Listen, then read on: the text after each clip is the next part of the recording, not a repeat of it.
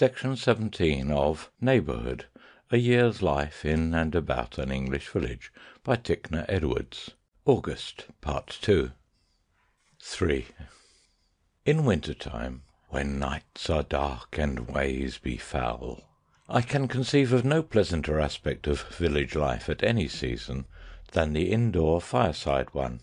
But when the long radiant August evenings are here there is equally no other time for me.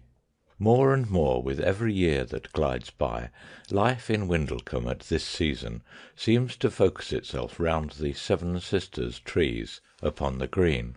All the summer day through the old folk gather there, and always a low murmur of voices comes drifting up to my window from their garrulous company. But it is after the day's work is done, and all, able or disable, are free for recreation, that the true life of the place begins. There is something about the ease taking of men physically tired after a long day's work in fresh air and sunshine that fascinates one who is only mind weary, and that alone from much chaffering with pen and ink. Though you have but cramped limbs to stretch out over the greensward, and, by comparison, but a torpid, attenuated flow in your veins, somewhat of your neighbour's healthful, dog tired humour overbrims upon you, and after a pipe or two and an hour's slow desultory chat you can almost forget the tang of the study, the reek of old leather burdening imprisoned air, and congratulate yourself on a man's work manfully done, albeit vicariously. The day long tussle with the good earth, mammoth nunches and eleveners devoured under hedgerows, a shirt a score of times soused with honest sweat, and as many dried by the thirsty harvest sun. All the old Windlecombe faces were there to night under the drooping pine boughs, and most of the middle aged ones. The younger men and boys were down on the mead at cricket practice, and there they would stay as long as a glimmer of daylight remained in the sky. But the sun had still a fathom to go before it would lie, red and lusty, caught in the toils of the far off Staversham hills. I evaded with what grace I could the cake of ship's tobacco held out to me by Captain Stallwood, accepting, as fair compromise, a charge from the tin box of old Tom Clemmer, his dearest friend. Gradually the talk got back to the point where my coming had intersected it. "'Tis true," said the captain now, "true as I sets here on a plank o' the old king as you cut and shaped yoursel', Dan'l." I followed his glance round the circle of benches. There was not a head among the company but was wagging dubiously. Old Daniel Dray's face was an incredulous, a horrified blank. "What!" said he, "a human critter swaller seventeen live "I seed it," interrupted the captain, pointing his pipe stem solemnly at us for emphasis. "I seed it with my own pair o' eyes. Little lirrupy green chaps they was, all hoppin' and summersettin' in the basket. An' the blackamoor a puts his mouth to the lip of it, and 'Hup, hup says he, and every time he says it one of 'em jumps in, and when they was all down, a gives a sort o' gruggle, and scoos his head o'er the basket, and 'Hup, hup says he again, and every time he says it, out pops but there, 'tis no sense tellin' you. Folks sees none o' the world in little small village places, and ain't got no believes." He was silent for a while, then brought out a tobacco box, like a brass halfpenny bun, and held it up to the common view. It was old and battered, and had certain initials scratched on the lid. The captain fingered it in mournful reminiscence. "Look'ee now," he said, "I don't rightly know as I ever telled you. G.B., that bean't Tom Stallard, be it? Ah, no, says all on you, ready you now. 'Twere George's, old George Budgeon, as Dan'l, what year it as I went off to sea?" Daniel Dray's lips moved in silent calculation. seventy three belike, or maybe seventy four, 'cause you'd been gone, Joe, a year afore Harker's Coo slipped the five legged heifer, and that were Ah, true, Dan'l, and George Budgeon, a were shipmate along o' me pretty soon arter I goed away. Well, and this 'ere baccy box, the leäst time as I seed it i' George's hand, I took a fill out of it just afore he went on watch, and it come on to blow that night Gorm 'ow it did blow! and rain not half, and in the mornin' never a sign of poor George Budgeon to be seen. Well, now, full a fortni't arter that, what 'ud we do but ketch a gert thresher on a trail line, and inside o' the critter what 'ud we find but a halibut big as a tay tray, all alive and lippin' 'a were. Says the cap'n I were ship's boy then "Joe," says 'e, "get and clane un, and I'll hae for me supper," 'e says. Now then, Dan'l, you'll never believe it, but true as you sets there, clink goes my knife again summat inside o' the halibut, and Garn, Stallard, we all knows what be a comin', cap'n. And there were ah, but you'll ne'er believe it, not if you was Jonah hisself, there inside o' the halibut were a gert rusty hook as what say, Dan'l? Don't 'ee say it again, Dan'l. You a reg'lar prayers goer, too. The captain filled his pipe from the box, tragically ruminating in the silence that followed. Ah, poor George Budgeon! I little knowed as 'twould be the last time as I'd pass his tobacco box to a friend.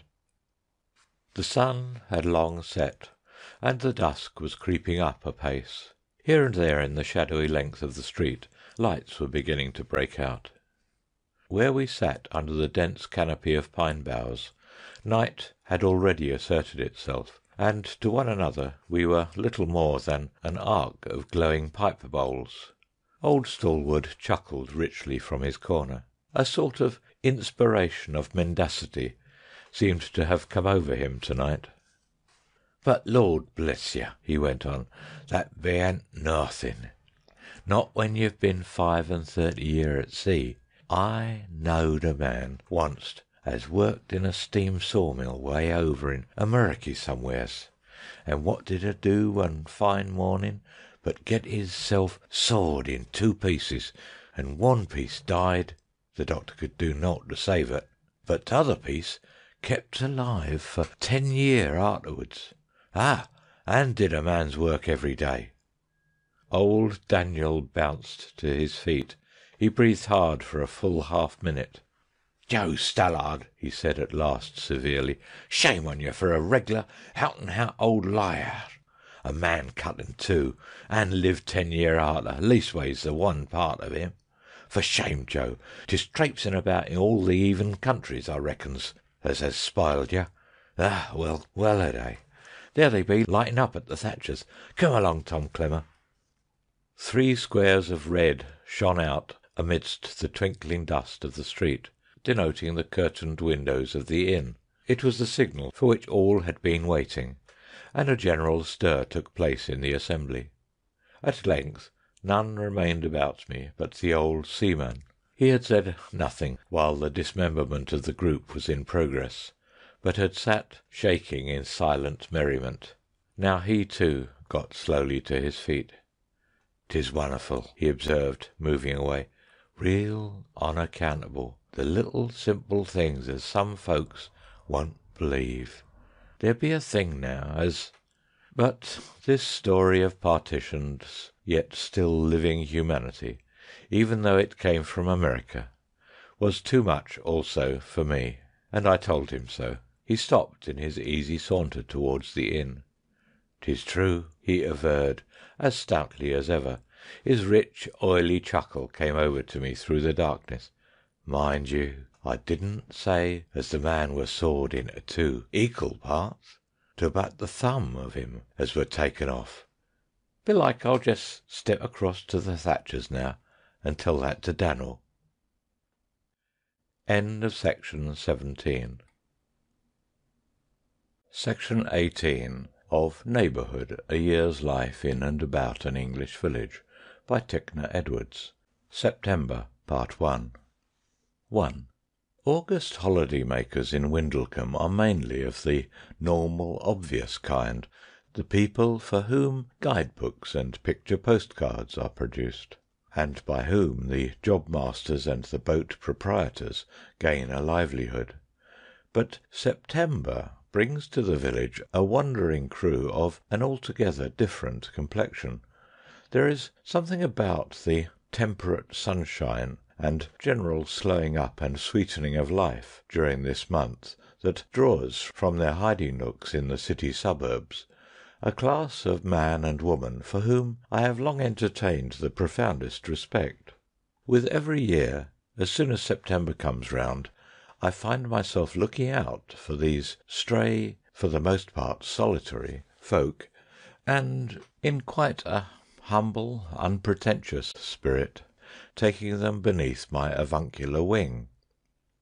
That they seek the quiet of an inland village in September, and not the feverish, belated distractions of the seaside town, is an initial point in their favour, but almost invariably they bring with them a much more subtle recommendation. They are down for a holiday, but they have come entirely without premeditation. Suddenly yielding to a sort of migratory impulse, they have locked up dusty chambers, or left small shops to the care of wives, or begged a few precious days from niggardly employers and come away on a spate of emotional longing for country quiet and greenery, irresistible this time, though generally the impulse has been felt and resisted every autumn for twenty years back. Indeed, there must be some specially fatal quality about this period of time, for I constantly hear the same story no holiday taken for twenty years. At noon to day after a long tramp through the fields, I came up the village street and paused irresolutely outside the Three Thatchers inn. The morning had been hot, and the walk tiring; moreover, it was the first of September, and the guns had been popping distressfully in all the coverts by the way. I knew that before sundown a brace or two of partridges would be certain to find their road to my door. But this did not prove, and never has proved, compensation for the flurry and disturbance carried by the noise of the guns into all my favourite conning places or arenas for quiet thought. The whole world of wild life was in a panic, and I with it. The red ochred doorstep of the inn glowed in the sunshine at my feet, and from the cool darkness beyond came a chink of glasses and murmur of many tongues. It all seemed eminently consolatory for the moment's mood. Within there no one would fire a gun off at my ear, nor stalk past me with a shoulder load of limp, sanguinary spoil nor warn me out of my favourite coppices with a finger to the lip, as though a nation of babies slumbered within. I was a lost man even before I began to hesitate. I stood my stout furze walking stick in the porch, beside a drover's staff, a shepherd's crook, and three or four undenominational cudgels, and plunged down the two steps into the bar. Now, before my eyes had accustomed themselves to the subdued light, and I could see what company was about me, I had become aware of a strange odour in the air. It was the scent of a tobacco happily unknown in Windlecombe, neither wholly Latakia nor Turkish, nor honeydew alone, nor red Virginia, Cavendish, nor returns, but a curious internecine blend of all these. I knew it at once to be something for which I have a constitutional loathing one of the new town mixtures, wherein are confused and mutually stultified all the good smoking weeds in the world.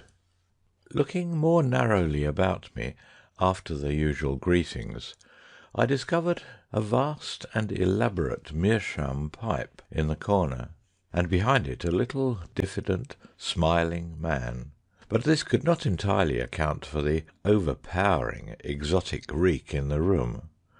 I missed the familiar smell of our own good Windlecombe shag, although there were half a dozen other pipes in full blast round me.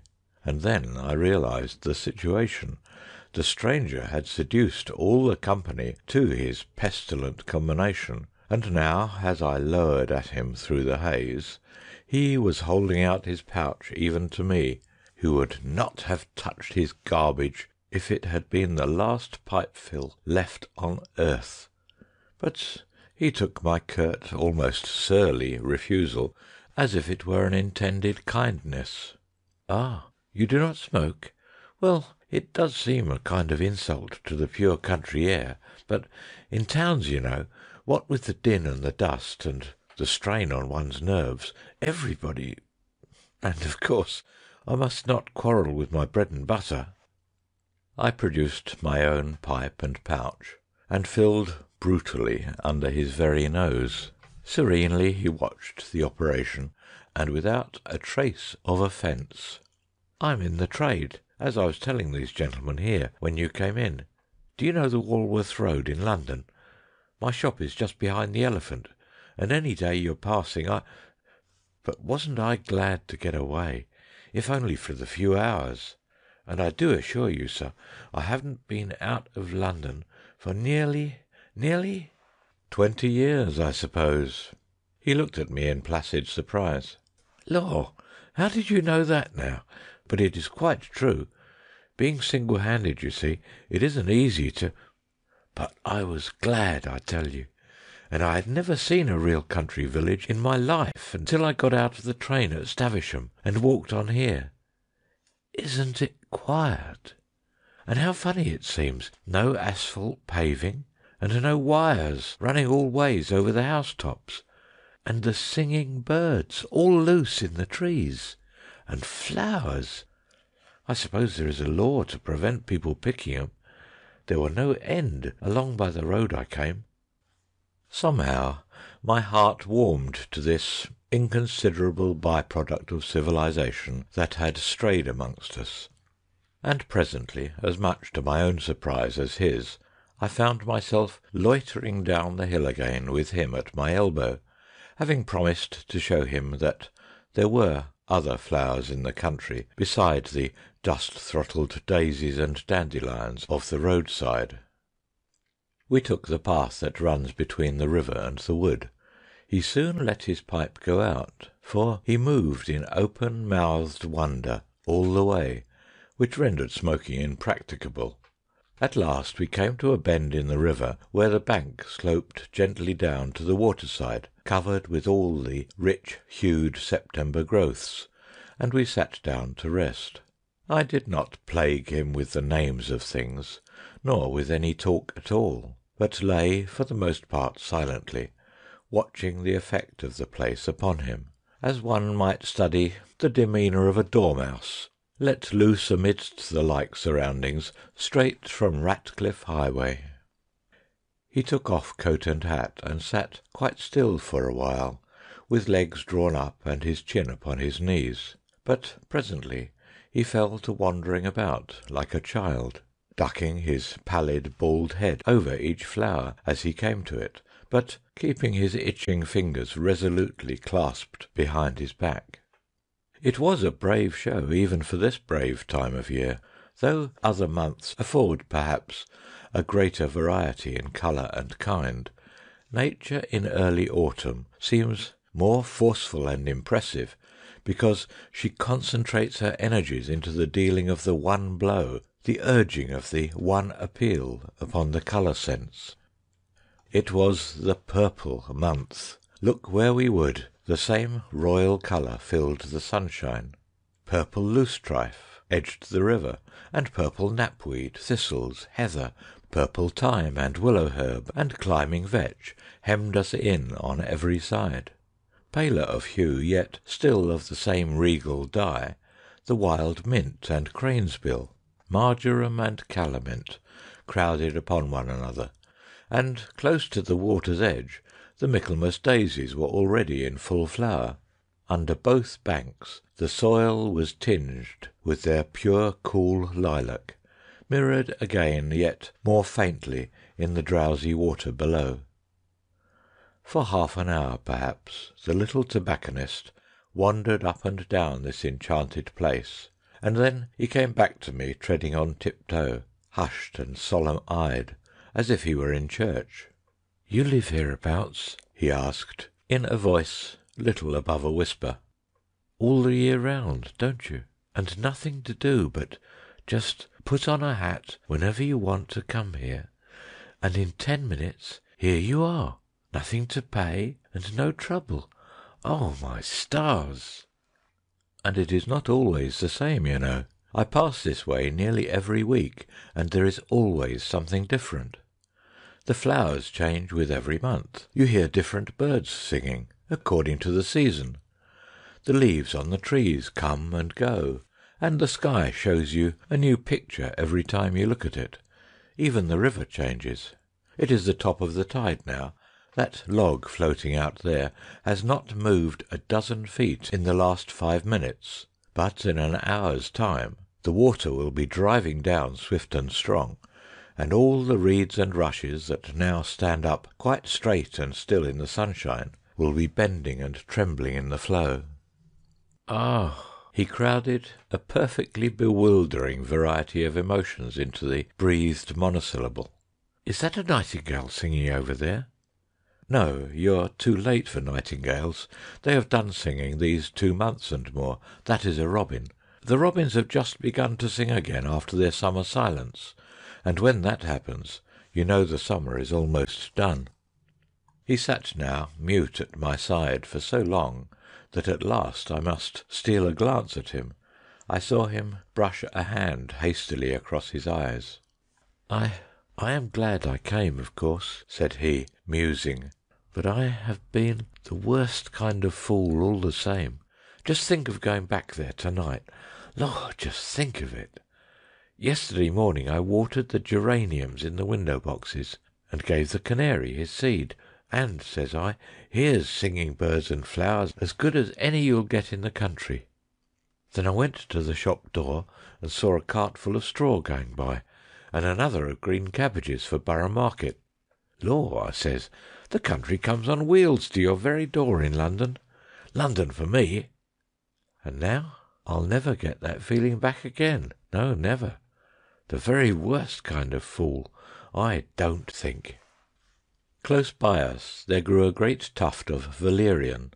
As he sat staring tragically at its disk of deep red blossom, butterflies came to it with every moment, sipping a while, then passed on painted ladies, red admirals, little tortoise shells, always in twos or threes. Finally a peacock butterfly sailed over to the valerian and settled there, her rich colours aflare in the sunshine. She spread out her great veins, the upper covering the lower. Then she gently slid her upper wings forward, and gradually the wonderful spots on the lower wings appeared like a pair of slowly opening, drowsy, violet eyes. The little tobacconist breathed hard. "I can see it all clear enough," he said tremulously. "A man gets a real chance here. Come worry, Come sickness, come bad luck, come anything you like, all you've got to do is to open your eyes and ears, and off it goes like the bundle of sins in the Pilgrim's Progress book. But in London " He stopped short. Then, in a tone of deep, despairing disgust "Geraniums, canaries, cartloads of cabbages bah! I had not found myself confronted by so difficult a proposition for many a long day. If only the Reverend had been there, but there was nothing for it but to try a joust with the situation alone. "Depend upon it," said I, "if coming amongst the beautiful natural things of the world has made you despise the mean, ugly, necessary parts of your life, then you have been a fool indeed one of the worst kind. But are you really the sort of fool you think? And have you not overstated both cases alike? In neither town nor country is there all of good or all of evil? There are plenty of geraniums and cabbages in Windlecombe, and, alas, canaries. And in London there is plenty of beauty, if you look for it with the right eyes. Beauty? In London? he repeated incredulously. Yes, truly, and the people who see it and enjoy it most are just those people who have the deepest knowledge of, and love for, the natural things of the countryside. Now, shall I tell you what sort of a fool you really are? He thought a moment, eyeing me in some perplexity. Well, yes, said he at last, if it isn't too much trouble. It is a lot of trouble, and I am not sure I can do it, but I will try. Did you ever hear of the saying, "Where ignorance is bliss, 'tis folly to be wise"? No, I can't say that I ever. Well, you have fallen right into that trap. You have given yourself twenty years of that kind of bliss, and now you have got to pay for it. But what was it made you start off this morning in such a hurry to get to the country, when only yesterday you were quite content with your window boxes and your screeching yellow gewgaw? He considered a little, then blushed to his eyes. "It was an old book," he said mysteriously, looking round, apparently to make certain we were alone. "Nothing but an old book on a bookstall. I picked it up just out of curiosity as I went by last night and there were some dried flowers in it, dog roses, I think. And then I looked up and saw the moon shining, very small and bright, high up in the sky, and it came over me that though she kept one eye dutifully on the Walworth Road, with the other eye she might well be looking down on the country lane where those roses grew years ago. And, thinks I, all of a creep like, why can't a man look two ways at once? And if he must give one eye to business, why can't he give the other to just what he likes? And then I and then you certainly left off being the kind of fool I mean left off for ever. Well, that saves us both a lot of trouble, for we are both wrong about your case, it seems. You need not fear to go home to night. You will find those geraniums as fresh and sweet as the valerian there, and just as populous of butterflies. And the canary? You will hear in his song every morning the notes of all the wild birds that have sung to you to day. And when next a wagon load of straw goes by your shop, it will not be mere straw, but a field of wheat under the country sunshine. The sound of the wind in the Walworth telephone wires will be for you only the rustle of wind in the corn. That is what I meant by London beauty. End of section 18.